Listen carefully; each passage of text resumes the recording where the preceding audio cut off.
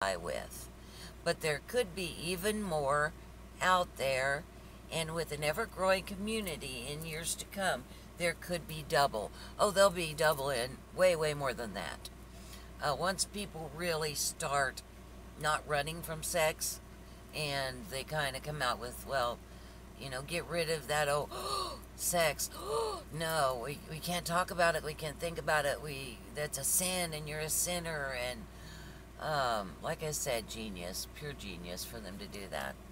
As that stops being the case and people can talk about it openly and the more enlightened vibrations come out, there'll be a lot more talk about it. And um, it'll be a lot more fun, too.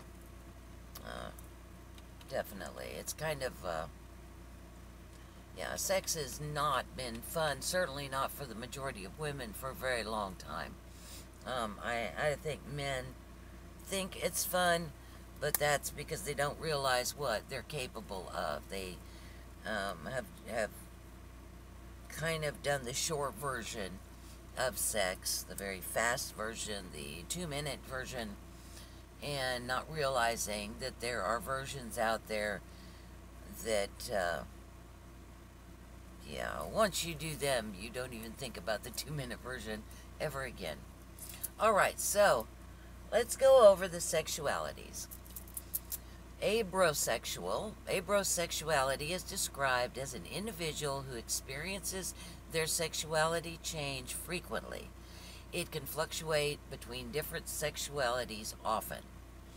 And um, I'll just like tell you right now the normal state for any human being and the normal state for most fourth dimensional creatures is that is there is a movement between sexualities depending upon uh, the circumstances. Uh, every, it's all about the circumstances. And that is the norm for the fourth dimension. And uh, fifth dimension is beyond even that. Um, you're all sexualities at once at all times, and you choose which sexuality you want to experience at any given time in the fifth dimension. Whereas in the fourth dimension, the circumstances kind of cause you to be in a certain um, set, experience a certain sexuality or a change to a certain sexuality based on the circumstances that are around you uh, at any given time and place. That's really because in the fourth dimension, the belief systems are that. That um, the sexuality, and that's what people are getting ready to go into, that people change whatever they're feeling sexu- as far as being whatever sexuality they're in based on what's going on around them or something that's triggered in them from their childhood or or or but it's something that is triggered a change that is triggered, that. Sexuality is changed, is triggered by something that's going on around them. That's fourth dimensional um, sexuality. Fifth dimensional um, sexuality is you know that you have access to all of them and you can you can use them any at any time and you do. But it's your choice. It's not the other way around. You choose. Okay. So let's go on andro, androgynosexual. Androgynosexual describes a person who is sexually attracted to men and women, particularly of androgynous appearance. Androsexual. An androsexual is anyone who has sexual feelings towards masculinity. This term is usually used by genderqueer individuals who do not fall into heterosexuality or homosexuality. Okay? You probably will have to read that again or listen to that again. But there's probably a lot of these you'll have to do that with. Now, as you guys are listening to this, hopefully you're listening to this, hopefully you'll listen to all of it. I want you to try, especially my long termers here, I want you to really try to put yourself into a non judgmental meditative state and see where you really are. If you really are heterosexual, always have been, and you've never moved, so be it. But I'm just letting you know that in the fifth dimension, there is no, no such thing. There is no, as a matter of fact, all of those terms go away in the fifth dimension. They're just, you just are. You are sexual, is what you are. And however that plays out, however you choose to play that out in the fifth dimension, is completely and perfectly fine. Uh, because in the fifth dimension, you would never do anything to hurt anyone.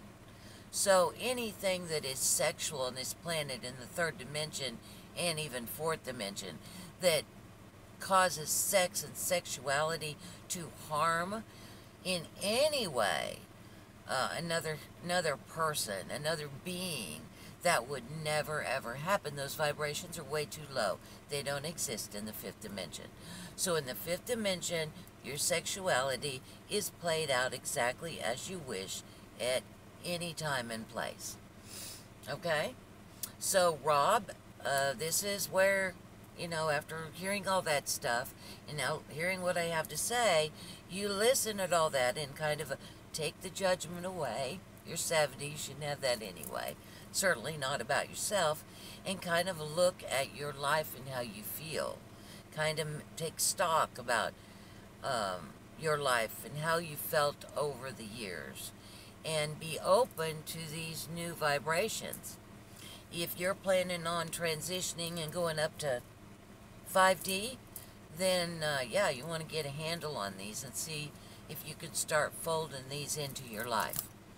And uh, that's that will be the best thing the fastest thing. And it'll feel great too. So, there you go. Okay. Aromantic, a person who uh, is aroman aromantic, aromantic, a person who is aromantic does not experience romantic attraction. This person does not have to identify as asexual, and they still may experience sensual and aesthetic attraction. Okay? So what you're going to see is you're going to see all these bits and pieces that everybody is shoved into categories are going to come back and all these bits and pieces that have been shoved into two sides are going to be taken out and you can have this one, this one, this one. You can put it over here and you can do that. You can do this one, this one, or this one, or you can do this one by itself. That's what you're going to start seeing.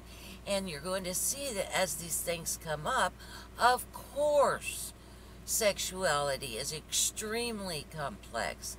As these emotions and feelings and likes and dislikes come into play and you can play with them, then of course sexuality becomes very complex. Doesn't that make sense? Of course it makes sense. And if you didn't understand what I just said, rewind it. Listen to me say it again until it does make sense. Okay? All right. Then we're going to go to asexual. Asexual is the term used to describe a person who feels little to no sexual attraction to anyone.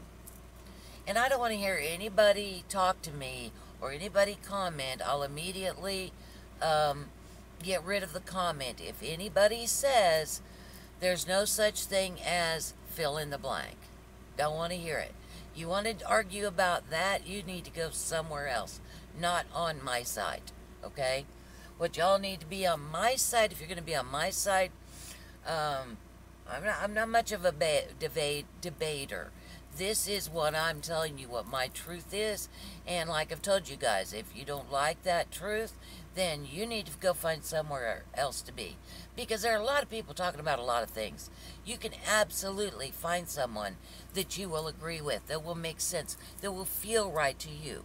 For whatever reason, it's not time for you to hear me if it makes you furious. And you don't want to be furious. And I don't want to hear you be furious or feel you be furious. So just go on to the next person. That's all. No harm, no foul. But for these, all these are very accurate and there's way more to come. So um, be open to it because it will be fun. It will be fun. Okay, now we're going to go into the B's. Uh, biromantic, a person who is romantically attracted to two sexes or genders. Biromantic asexuals seek romantic relationships for companionships, affection, and intimacy, but they are not sexually attracted to their romantic partners. Do you see? Do you see how many options there are? Now, Stephanie's age bracket, there's a lot of them that have had, not had sex yet. Uh, Stephanie has not had sex yet. She's not been kissed yet because she falls within these other alternate categories, as do a lot of other beings.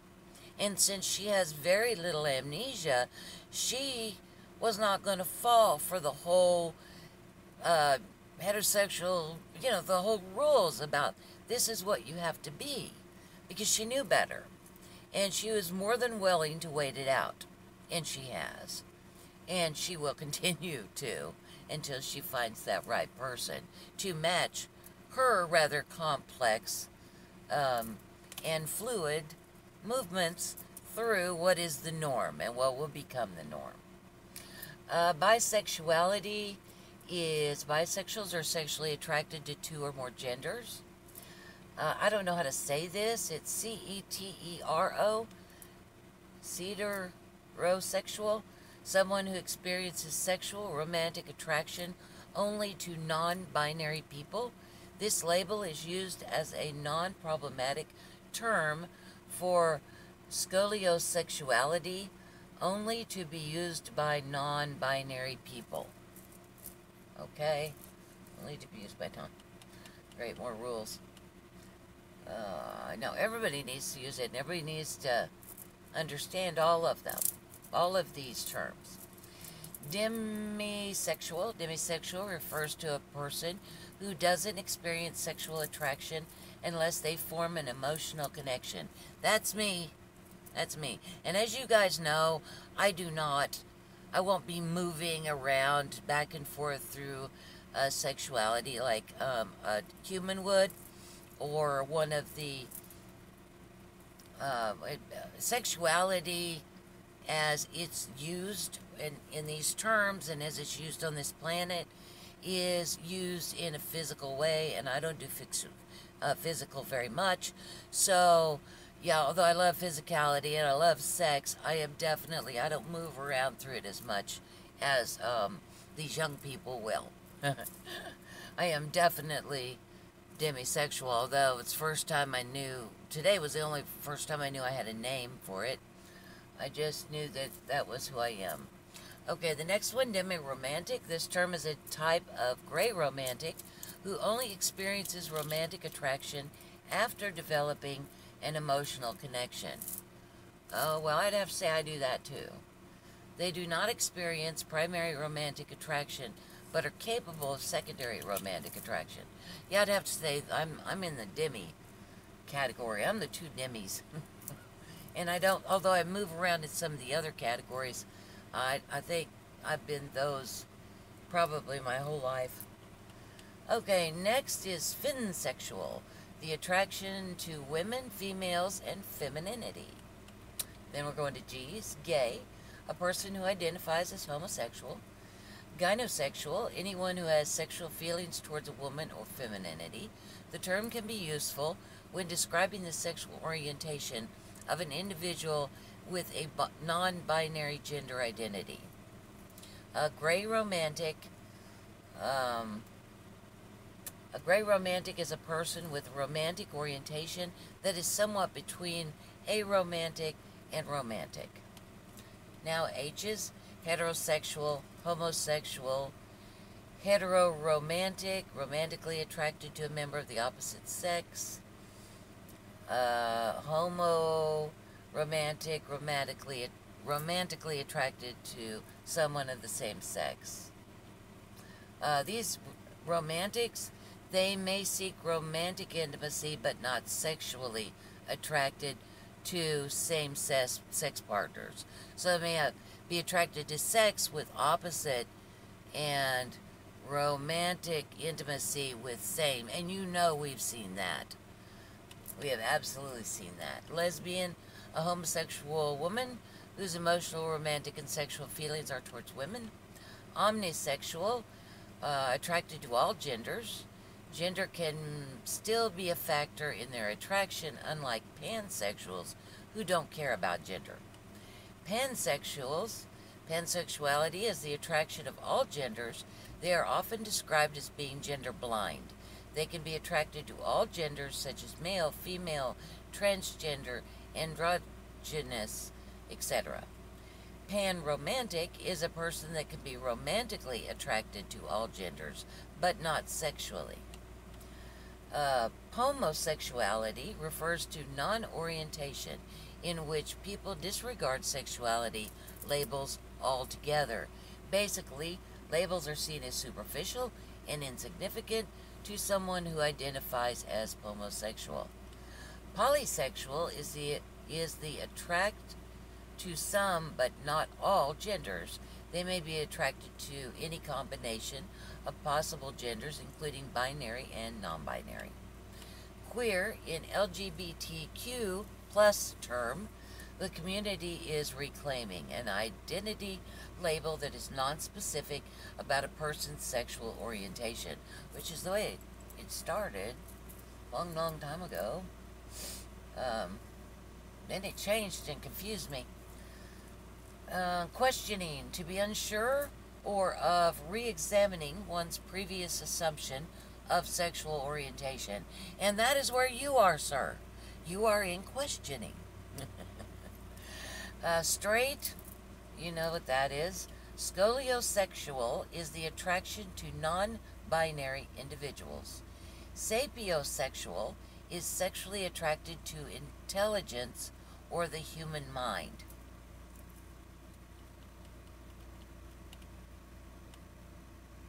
Is that it? Okay, well, hold on, let me see if that ends in S. And there we have it, our 29 sexualities that we're aware of. Okay, so guys, there you go.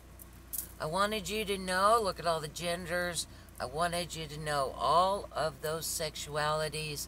I want, um, I want, uh, Rob, I want you to know that it is understandable that you've been confused your whole life because of you are a star seed. Uh, you have not been here very many times. And so it's confusing anyway for it to be all split up like that. So, and to be told that those feelings go over here when they don't, or that you don't have them at all, and now you're living when they're all coming back. So, if it wasn't confusing enough about you know, the 70 years that you've been here, you're here long enough that it's screamingly going back the other direction. And they're going to be adding um, these combinations and coming up with new names about as fast as they can uh, your your job, be open to it. Uh, find out what makes you uh, feels right to you, and be open and ready to change uh, at a split second notice.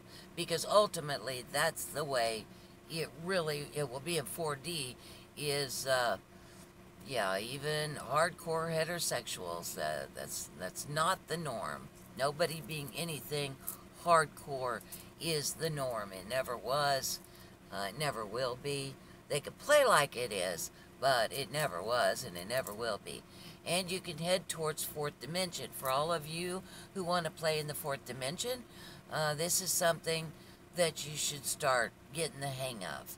Those who can't stomach the thought of it and you can only deal with heterosexual, then plan on um, jumping over to another planet that's going to be in the third dimension or and or second dimension third or second third or second um, are in those categories all right well i know that was a lot of reading and not that much talking but i really wanted you to know i wanted you to hear it from me all of those things and how much uh, how much they're coming back because i wanted you to remember that i laughed if you go back to that video i laughed and I said, they, you have no idea. And this is the beginning of what I was talking about. All right? Okay, guys, that's it for me. I love you so much, and I'll talk to you later. Huge hugs now. Bye.